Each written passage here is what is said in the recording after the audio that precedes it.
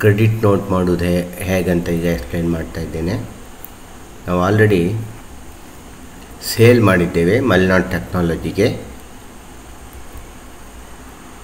ಒಂದು ಸಾವಿರ ಪೀಸು ಇವಾಗ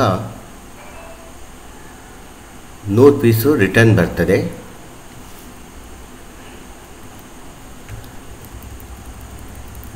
ಅಕೌಂಟಿಂಗ್ ಓಚರಿಗೆ ಹೋಗ್ಬಿಟ್ಟು ಕ್ರೆಡಿಟ್ ನೋಟ್ ಯಾಕಂದರೆ ನಮ್ಮದು ಸೇಲ್ಸ್ ರಿಟರ್ನ್ ಅವ್ರು ನಮಗೆ ಗೂಡ್ಸನ್ನು ವಾಪಸ್ ಕಳಿಸ್ತಾರೆ. ಆಗ ನಾವು ಕ್ರೆಡಿಟ್ ನೋಟ್ ಮಾಡಬೇಕಾಗತ್ತೆ. Invoice number original invoice number zero zero one dated twelfth return ಬಂದಿದ್ದು ಥರ್ಟೀನ್ತಿಗೆ party name Malnad technologies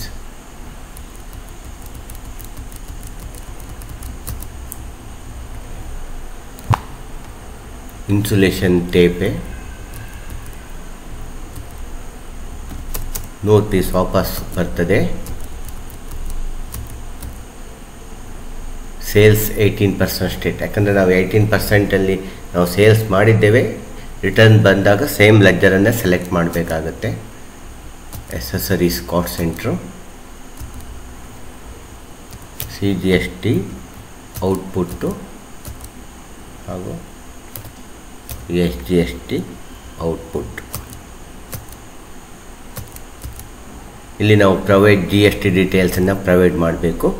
sales return ಮತ್ತು ಬೈಯರ್ಸ್ ಡೆಬಿಟ್ ನೋಟ್ ನಮ್ಗೆ ಅವರು ಡೆಬಿಟ್ ನೋಟ್ ಕಳಿಸ್ತಿರ್ತಾರೆ. ಆ ನಂಬರ್ ನೋಡಿಬಿಟ್ಟು ಆ ನಂಬರು ಡೇಟನ್ನು ನಾವು ಹಾಕಿದರೆ ಆಯಿತು. ಯಾಕಂದರೆ ಅವರು ಡೆಬಿಟ್ ನೋಟು ನಮಗೆ ಕ್ರೆಡಿಟ್ ನೋಟು ನಮಗವರು, ನಮ್ಮ ಅಕೌಂಟಿಗೆ ಅವರು ಡೆಬಿಟ್ ಮಾಡ್ತಾರೆ ಸೇಲ್ಸ್ ರಿಟರ್ನ್ ಆದಾಗ. ಬಟ್ ನಮ್ಮ ಬುಕ್ನಲ್ಲಿ ನಾವು ಅವ್ರ ಅಕೌಂಟಿಗೆ ಕ್ರೆಡಿಟ್ ಕೊಡಬೇಕಾಗುತ್ತೆ ಅವ್ರು ನಮಗೆ ಡೆಬಿಟ್ ನೋಟ್ ಕಳಿಸ್ತಾರೆ ಬಟ್ ನಾವು ಕ್ರೆಡಿಟ್ ನೋಟ್ನಲ್ಲಿ ಎಂಟ್ರಿ ಮಾಡಬೇಕಾಗುತ್ತೆ.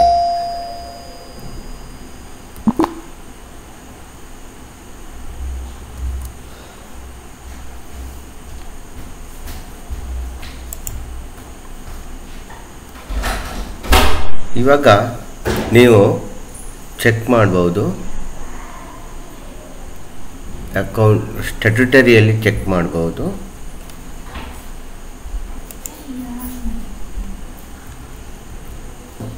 Statutory report G S T G S T R ಒಂದಲ್ಲಿ ಹೋಗಿದ್ರೆ. ಇಲ್ಲಿ ನಿಮಗೆ ಒಂದು ಸೇಲ್ಸ್ ಇದೆ.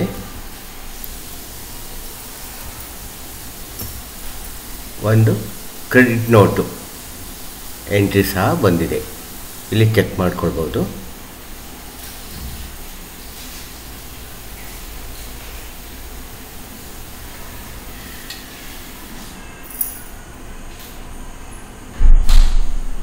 ಇನ್ನೊಂದು ಕ್ಲಾಸ್ನಲ್ಲಿ ನಿಮಗೆ ಡೆಬಿಟ್ ನೋಟನ್ನು ಹೇಗೆ ರೈಸ್ ಮಾಡೋದಂತ ನಾನು